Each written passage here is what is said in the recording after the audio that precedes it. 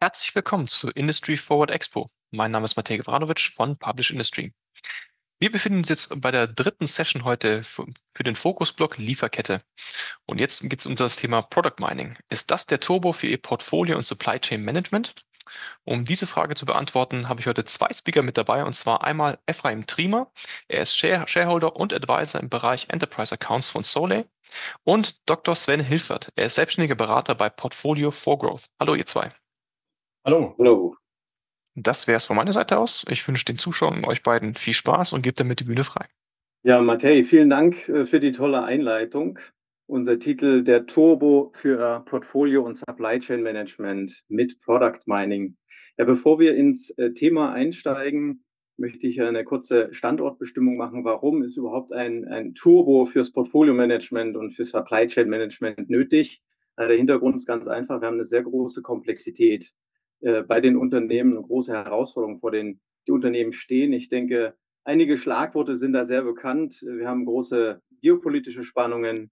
Wir haben Klimaveränderungen. Es gibt sehr viele Themen, die auf die Unternehmen einprasseln. Dadurch entsteht Komplexität. Dafür äh, wird auch klar, dass das Thema Portfolio Management und Supply Chain Management sehr viel mehr an Bedeutung gewinnt. Und ein Thema, bei den ganzen Herausforderungen, die sieht man manchmal gar nicht so genau. Und das möchte ich gerne äh, nochmal ganz konkret aufgreifen. Und zwar ist das hier ein, ein schönes Chart ähm, vom Visual Capitalist, was uns die Innovationszyklen über die letzten Jahrzehnte, sogar Jahrhunderte aufzeigt.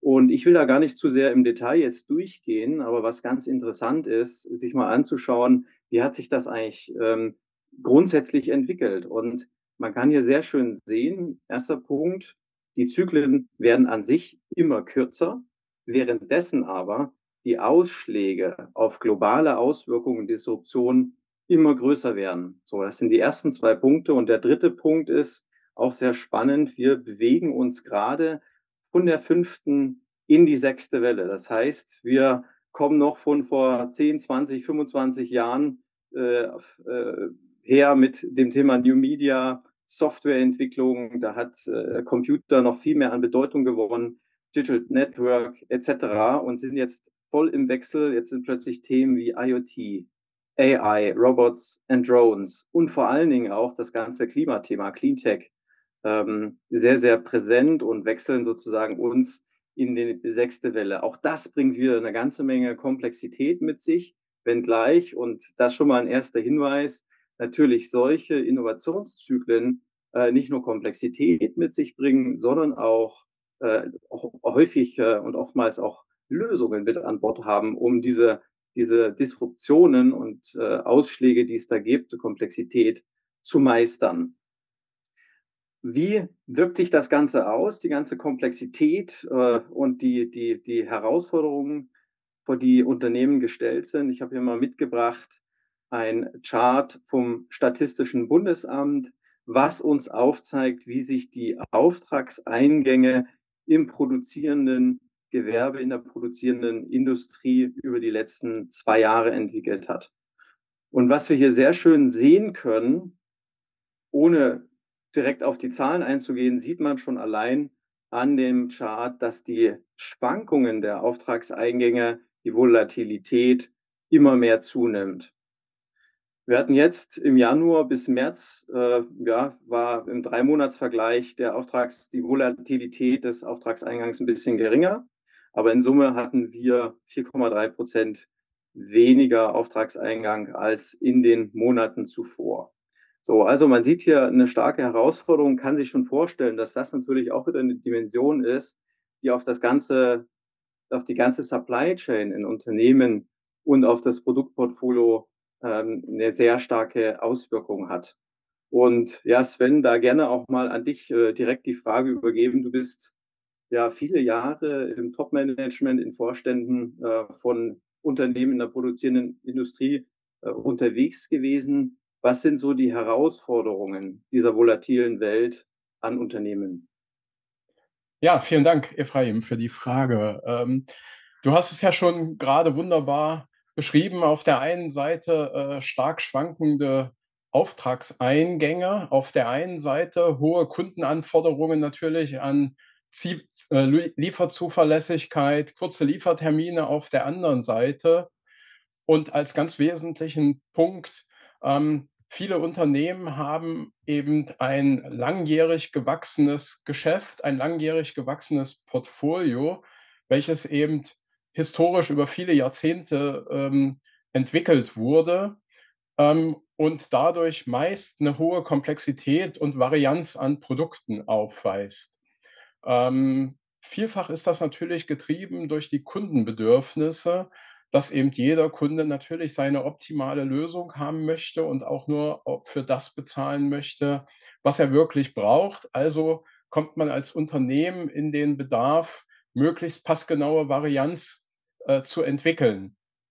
Das geht auch sehr, sehr lange gut, bis man eben an den Punkt kommt und, und insbesondere, wie wir hier in dem Chart sehen, wenn die Ausschläge eben sehr groß werden, dann äh, wird wirklich diese Komplexität ein Hinderungsfaktor. Auf der anderen Seite muss man eben sagen, dass sowohl Varianz und Komplexität per se ja nicht schlecht sind, ähm, aber sie muss natürlich vom Kunden honoriert werden und er muss bereit sein, für diesen Leistungsumfang, den man dann als Unternehmen bietet, auch wirklich zu bezahlen.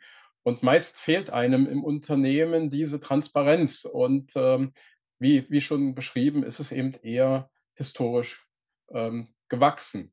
Das Fazit daraus ist natürlich, ähm, man muss wegkommen von dem Reagieren eher ins Agieren und in wirklich ähm, eine gemanagte Komplexität, die dann auch zum eigenen Geschäftsmodell ideal passt. Und äh, davon hängt es natürlich ab, wie man seine Komplexität darstellt. Auf der anderen Seite ist man eben als Unternehmen ja auch permanent in dem Spannungsfeld aus Kosten, Liefertreue, das heißt Termin und am Ende Technik, USPs und Erfüllung der, der Kundenanforderungen. Und das ist halt eine, eine tägliche Challenge im Unternehmen, weil man natürlich anstrebt, äh, möglichst geringes Kapital äh, gebunden zu haben, das heißt geringe Liefer, ähm, Lagerbestände, ähm, auf der anderen Seite eine hohe Verfügbarkeit darstellen will mit kurzen Lieferzeiten und eben eine optimale Technik, ähm, um die Kundenanforderungen zu erfüllen. Das heißt, man bewegt sich eben tagtäglich in einem Optimierungsproblem, was häufig in Unternehmen auch zu Troubleshooting führt. Und ich denke, da muss man wegkommen und eben insbesondere in ein vorausschauendes Management, äh, vorausschauendes Supply Chain Management kommen, damit das Ganze sich im geregelten Fluss befindet.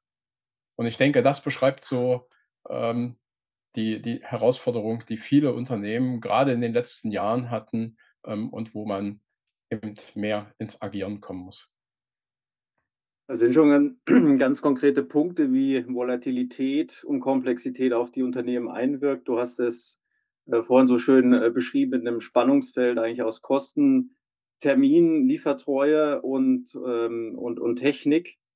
Und äh, dass das dann entsprechend Herausforderungen auch wieder beim Unternehmen ähm, ja, hervorruft. Vielleicht auch ganz konkret die Frage, was muss jetzt da getan werden, um das zu meistern? Also wie schon, schon gerade eben beschrieben, erstmal eben äh, vom Reagieren ins Agieren und Steuern kommen. Das hört sich erstmal sehr, sehr einfach an, aber da steckt natürlich vieles dahinter. Ähm, dann, und dann sind wir eben bei diesen Themen äh, Soleil und Product Mining. Am Ende die Komplexität wirklich auf die wertstiftende Komplexität reduzieren. Das heißt eben auf die Varianz, äh, für die der Kunde bereit ist zu bezahlen und die eben zum Geschäftsmodell passt. Das bedeutet dann natürlich auch gegenüber den Kunden ein klares Werteversprechen aufzustellen und zu vermitteln, damit eben klar ist, wofür stehe ich als Unternehmen und dann die Wertschöpfung entsprechend dieser Komplexität ausrichten. Das heißt, ähm, möglichst spät natürlich die Komplexität in meiner Wertschöpfung entstehen zu lassen, mein Portfolio klar zu strukturieren. Da tauchen dann solche äh, Begriffe, Schlagwörter auf wie STO, also Select to Order oder CTO, Configure to Order oder ETO, Engineered to Order Produkte zu definieren und dann eben auch vorauseilend am Ende genau danach meine Supply Chain auszurichten. Das heißt eben zu überprüfen, wo brauche ich Just-in-Time-Lieferungen, wo brauche ich vielleicht ähm, einen Second-Source-Lieferanten, ähm, wo brauche ich andere Sourcing-Regionen. Also das hat natürlich dann auch sehr viel mit Risikomanagement und vorausschauendem Ausrichten meiner Produktion, meiner Lieferketten äh, zu tun. Und da liegt dann eigentlich der Schlüssel zum Erfolg drin, weil wenn ich ähm, Lieferprobleme habe, dann kann ich sie auch mit Product Mining nicht kurzfristig lösen. Ich kann zwar sehen, was dann die Auswirkungen sind und wer ist als Kunde betroffen, aber ich muss meine Hausaufgaben äh, vorher machen. Und das heißt eben, ja, schädliche Komplexität entfernen, für die der Kunde nicht bereit ist zu bezahlen, um am Ende mich langfristig auszurichten, Kosten zu sparen und auch Raum äh, für Innovation zu schaffen. Ja, du hast das ja eben schon äh, schön beschrieben. Wir haben jetzt, eigentlich betrifft das die ganze Wertschöpfungskette im Unternehmen, ähm, die Komplexität und, und die zu behandeln. Also da sind viele Bereiche und Abteilungen entlang der Wertschöpfungskette ähm, mitbeteiligt. Du hast das jetzt ja auch äh, aktiv äh, bei Unternehmen begleitet und auch durchgeführt. Und hast da auch eine, wir haben hier ein, Slide äh, mitgebracht, genau. ähm, wie du umgesetzt hast. Exakt. Ähm, ja, ich sag mal, wie gesagt, ich hatte gerade eben schon genannt, am Ende braucht es ein klares Werteversprechen. Dieses kann natürlich nur entstehen, wenn ich eine klare Strategie habe. Und da bin ich jetzt hier bei dem äh, Prozessnavigator von PM1, den wir äh, in unseren Trainings und unseren Beratungsprojekten auch als Guideline ähm, verwenden. Und da fängt es eben an mit dem Thema Unternehmensstrategie. Da möchte ich jetzt gar nicht im Detail drauf eingehen, sondern nur das äh, grobe Prinzip darstellen. Das heißt also, ein Unternehmen muss eine klare Strategie, einen klaren Nordstern haben, wo auch dieses Thema Werteversprechen gegenüber den Kunden, Märkten und Leistungsportfolio definiert ist. In, der nächsten, äh, in, in dem nächsten Schritt leite ich daraus dann meine Anforderungen an mein Produktportfolio overall ab. Das heißt, eine klare Portfoliostrategie zu definieren. Und dann komme ich in die dritte Ebene, nämlich ähm, zu den Produkten, wo ich dann aus der Strategie, Portfoliostrategie, klare Produktstrategien ableiten kann und damit auch den Handlungsrahmen für das Thema Varianten- und Komplexitätsmanagement ähm, schaffe das ist erstmal ein extrem wichtiger Vor vorheriger Schritt, bevor ich eben Variantenmanagement durchführen und einführen kann oder Product Mining, damit ich überhaupt meine Handlungsmaxime, meine Guidelines habe, in denen ich mich bewegen möchte. Und dann ist dann eben der nächste Schritt, der daraus natürlich folgt.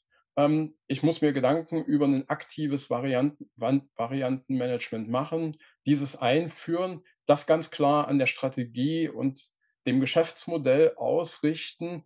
Um das aber zu, tun zu können, brauche ich überhaupt erstmal eine hohe, äh, eine hohe Transparenz über meine Varianz im Portfolio. Was ist wertstiftend? Wie sehen meine Lieferketten aus und so weiter? Und dann bin ich eben bei dem Thema Product Mining, weil das ist der Schlüssel, womit ich diese durchgehende Transparenz vom sagen wir, Lieferanten bis zum Kunden überhaupt erst schaffen kann auf Knopfdruck. Ähm, und das ist meistens eine der größten Challenges in Unternehmen, überhaupt diese Transparenz äh, zu schaffen. Das ja, heißt, gut äh, Product Mining ist so einer der ersten notwendigen äh, Schritte. Und wenn ich eben Variantenmanagement und Product Mining habe, mache, dann habe ich beide Werkzeuge, die ich eben überhaupt brauche. Und was ist das Ziel von dem Ganzen? Natürlich ein klar strukturiertes Portfolio zu schaffen, was die Kundenwünsche schneller und präziser erfüllt, die, die Resilienz in meiner Lieferkette zu erhöhen, weil ich eben meine Lieferkette ideal auf die Lieferzeiten, die ich meinen Kunden verspreche, ausrichten kann, auf die, die erforderliche Varianz ich will die Profitabilität letztendlich erhöhen, dass ich eben wirklich die Varianz, die ich generiere, auch bezahlt bekomme. Ähm, und mir war immer ganz wichtig, auch klar zu machen, dass der Kunde immer im Mittelpunkt steht. Das heißt also, Standardisierung und Variantenmanagement ist nicht gegen den Kunden, sondern am Ende ist das Unternehmen und der Kunde ein Gewinner, weil er eben äh, eine Varianz bekommt, die genau zu dem passt, was er braucht. Auf der anderen Seite, wenn sie gut gemanagt ist über ein sinnvolles Variantenmanagement, sie eben auch schneller bekommt und kostengünstiger bekommt. Und auf der anderen Seite steigert es eben die Zuverlässigkeit im Unternehmen, macht die Prozesse ähm, äh, smoother im Unternehmen, verhindert Troubleshooting und am Ende erhöht es eben den Unternehmenswert und äh, das Ergebnis, äh, sodass eben beide Seiten letztendlich davon gewinnen. Du hast es jetzt erwähnt, Product Mining ähm, ist da ein integraler Bestandteil, um die äh, äh Transparenz herzustellen. Hast selber auch schon äh, begleitet Product Mining-Projekten in, in, den Unternehmen. Ähm, wie habt ihr das da konkret äh, angewendet? Ja, ich denke, das zeigt hier diese Folie ganz schön. Das Produkt eben in der Mitte und wie ich jetzt schon äh, kurz auch beschrieben hatte, habe ich auf der einen Seite ja das Spannungsfeld, äh, auf der linken Seite meine Lieferanten, auf der rechten Seite meine, meine Kunden und ich muss eben dieses Netzwerk ähm, über die Supply Chain, über die Produktion bis zur Lieferung zum Kunden ideal managen. Und dafür brauche ich eben Informationen. Ähm, das heißt eben, welches Bauteil fließt in welches Produkt und wenn es vielleicht nicht verfügbar ist, was bedeutet das dann auf der Kundenseite.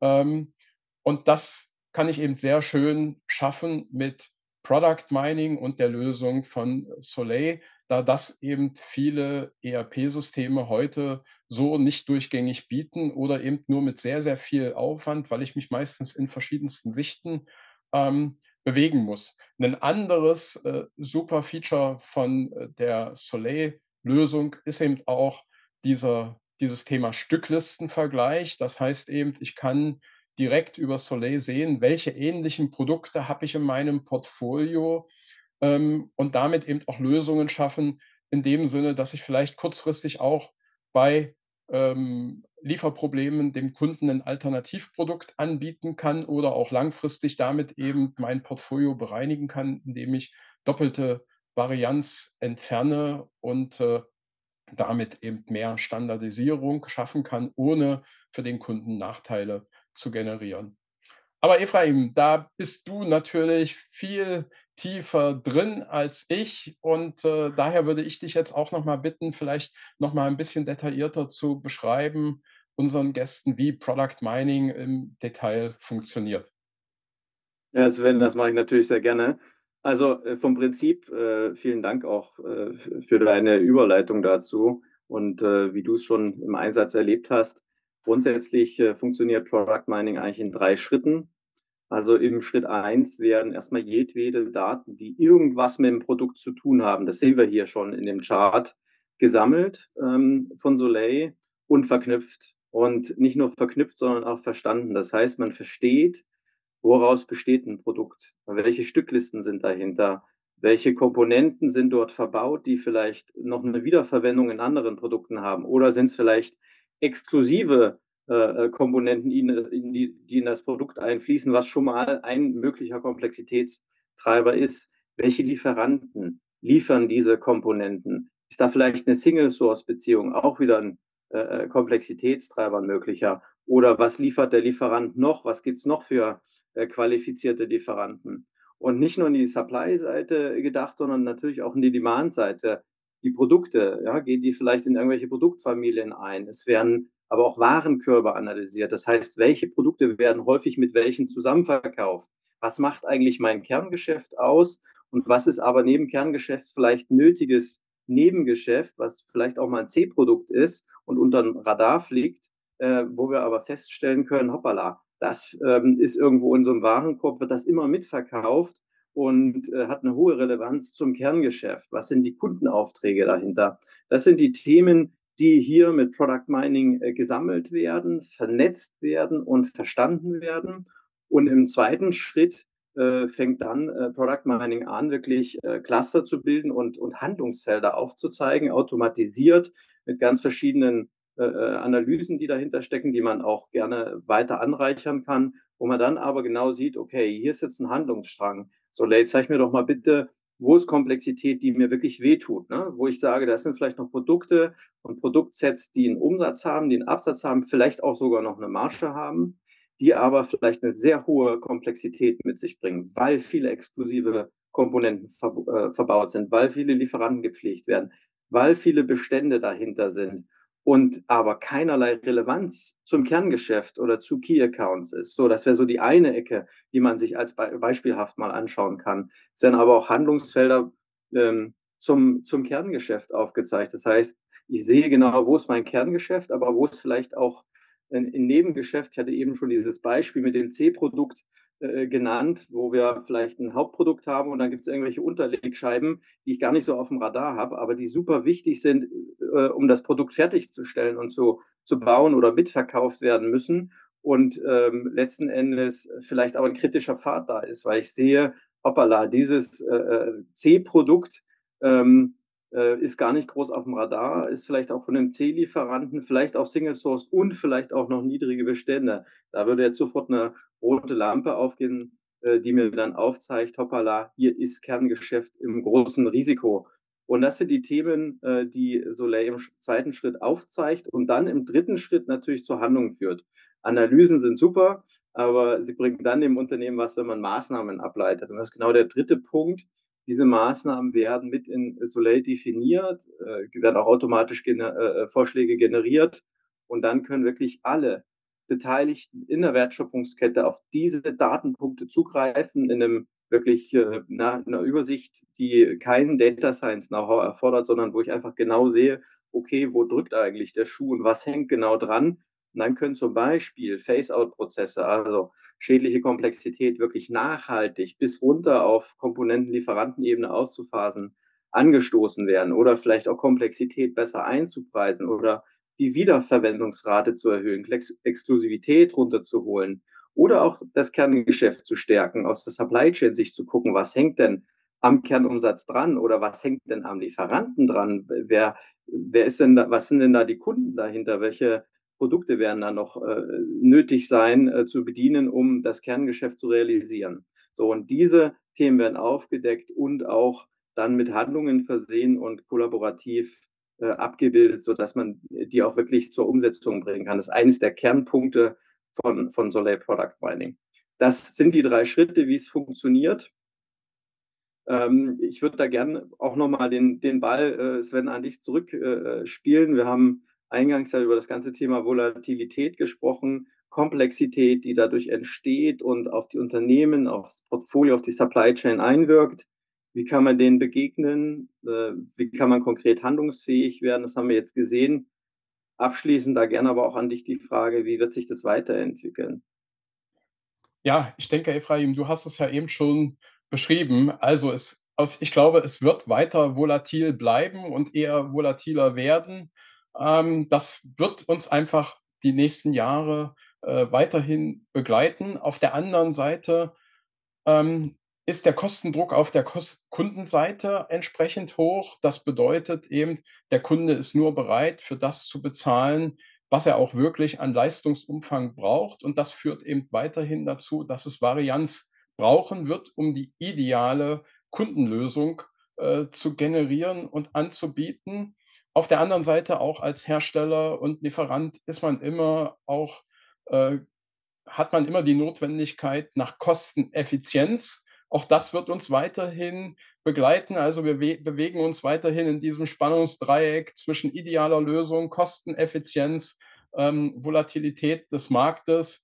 Und diese müssen wir managen. Und da helfen uns eben solche Tools wie äh, Product Mining wie zukünftig sicherlich auch KI. Das heißt eben, datengetriebene Tools werden weiter zunehmen im täglichen Alltag, um das zu managen. Und ich denke, am Ende ist nie der richtige Zeitpunkt, etwas zu beginnen, in, in dem Sinne, dass man immer genügend Themen äh, hat, die man bearbeiten will. Und deshalb ist es eigentlich, wo man sagen muss, besser heute anzufangen, um dann wirklich in dieses vorausschauende Agieren äh, zu kommen, als in das kurzfristige Reagieren und Troubleshooting. Und das wäre jetzt so mein Abschlussstatement auch. Beginnen ist der Schlüssel und wirklich umsetzen. Äh, schöner Schlusssatz. Also da will ich gar nichts mehr hinzufügen, sondern das lasse ich genauso stehen. Anpacken, umsetzen. Ähm, Matej, ich glaube, wir sind perfekt in der Zeit geblieben. Gerne deshalb das Wort wieder an dich. Super, super. Danke, Ephraim. Ihr seid wunderbar in der Zeit, hast du recht. Und äh, danke auf jeden Fall schon mal für den Vortrag. Und ich würde sagen, wir gehen mal direkt in die QA-Session über. Und äh, ich würde einfach mal mit einer relativ einfachen Frage, mit einem einfachen Statement vielleicht anfangen. Weniger Produkte, mehr Erfolg. Geht es überhaupt?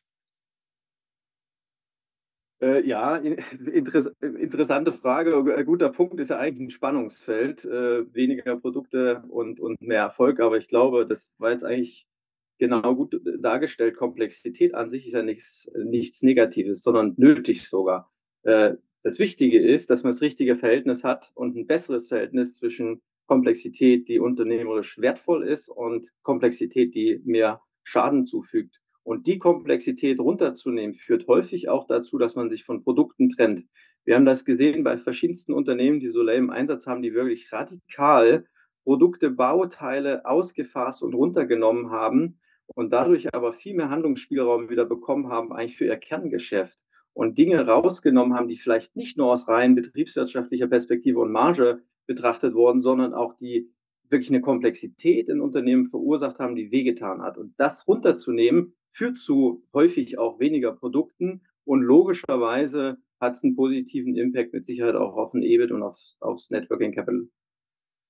Ja, das erinnert mich so ein bisschen an ein Restaurant im Endeffekt, wo du am Anfang irgendwie gefühlte 50 Sachen bestellen kannst und dann irgendwann merkt die Person, man reduziert es einfach mal drastisch auf das, was halt wirklich die meisten Leute bestellen. Und das, ja, weniger Komplexität, aber dann doch irgendwo auch mehr Einnahmen, wenn man es richtig macht. Und bessere Absolut, Qualität und Verfügbarkeit ähm, äh, das sind natürlich ja wesentliche Faktoren, die auch heute eine hohe Rolle spielen. Mhm. Ja, dann habe ich, äh, glaube ich, ein oder zwei Fragen. Ich glaube, das wird äh, nach dem, was du jetzt am Ende erzählt hast, Ephraim, wahrscheinlich hauptsächlich an dich gehen, die Frage. Aber natürlich, ähm, Sven, falls du dazu auch was zu sagen hast, gerne. Ja. Äh, nee, aber äh, wie geht Product Mining mit der Analyse von Produkten um, die möglicherweise im Portfolio als Poor Dogs identifiziert werden? habe jetzt akustisch nicht verstanden, als was werden die identifiziert? Als Poor Dogs. Ja, das sind, ah, Poor Dogs jetzt aus der BCG-Matrix. Äh, das ist ein sehr guter Punkt. Ähm, Product Mining schaut eben nicht nur auf die rein betriebswirtschaftlichen Komponenten. Ähm, äh, natürlich kommen beim PurDoc noch weitere Perspektiven aus dem Markt dazu, aber ich glaube, dass hier die Ergänzung mit den Infos, was ist eigentlich an Komplexität im Unternehmen, was hängt da dran, wie lang ist das Produkt eigentlich bei mir im Portfolio, ähm, wie sind da Mitverkäufe, wie hoch ist die Wiederverwendungsrate, wie stark ist das im Kerngeschäft mitverkauft, bringt eine viel umfänglichere Sicht, als wenn ich nur auf den PurDoc schaue. Und häufig haben wir es tatsächlich in Projekten gesehen, dass Produkte, die in dieser äh, Kategorie, in dem Cluster enthalten sind, doch noch starke Beziehungen zum Kerngeschäft haben.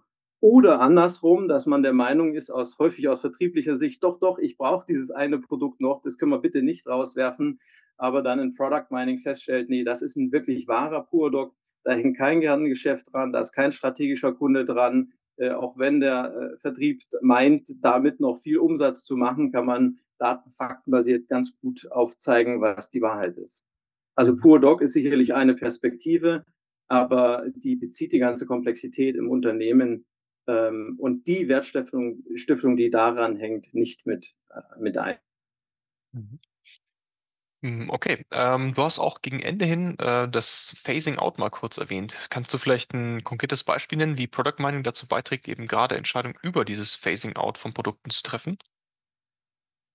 Ja, also ich hatte kur kurz erwähnt, dass äh, Soleil hilft, das Portfolio zu clustern. Es werden am Anfang ganz viele Analysen gefahren, die mir helfen, das Portfolio zu segmentieren. Da kommt von Soleil ein Vorschlag, der dann, äh, wir nennen das Kurs halt Ballastanalyse, wo ausgewiesen wird aus verschiedensten Perspektiven und Blickrichtungen ist dieses Set hier Ballast und das ist eine Vorschlagsliste an Produkten, die du dir bitte, liebes Unternehmen, anschauen musst. Und dann geht man rein, nimmt sich die Vorschlagsliste, äh, treibt die im Unternehmen mit den entsprechenden Leuten durch, kann sich da alle Zusammenhänge anschauen und das dann in den Entscheidungsprozess digital und automatisiert überführen, so wie es eine Fissmann macht, wie es eine Hansgrohe macht, wie es eine Lenze macht und, und damit sehr erfolgreich das komplett digitalisiert, automatisiert und vor allen Dingen datenbasiert und faktenbasiert durchführt und wenig Bauchgefühl hat. Mhm. Super, danke. Dann würde ich sagen, kommen wir noch mit der letzten Frage noch abschließend. Ähm, vielleicht wieder auch so ein bisschen eine etwas äh, provoka provokantere Frage. Äh, verhindert eine hohe Produktvarianz und Komplexität eventuell den Faktor Innovation? Wenn perfekte Frage für die.